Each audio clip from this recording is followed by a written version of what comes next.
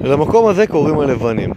זה מעיין שתושבי האזור אה, משתמשים בו כבר המון שנים, אני אפילו בתור נער קטן הייתי מגיע לפה אה, לשחות, הנה אתם יכולים לראות פה את המעיין, אגב שווה תמיד לקפוץ לפה, אחלה בריכה, בריכת שחייה. טוב, אין פה כל כך תאורה, אבל זה בריכת שחייה מעולה בעצם על כל השטח הזה. ובשבועיים האחרונים יש פה כמה נערים שגרים כאן. עכשיו זה כנראה לא כל כך אוהבים במערכת הביטחון, למרות שממש פה למטה יש כמעט כל יום אה, הפס"דים שזורקים אבנים על חיילים, אבל דווקא פה החליטו לטפל. והם באו הלילה, הם מכתזית שלמה מלאה בבואש, שפכו פה על כל האזור מים סירחון מטורף, על כל החדרים. בואו נראה לכם בפנים מה קורה. כל החדרים פה מלאים גם בבואש הזה, וכל הציוד שלהם.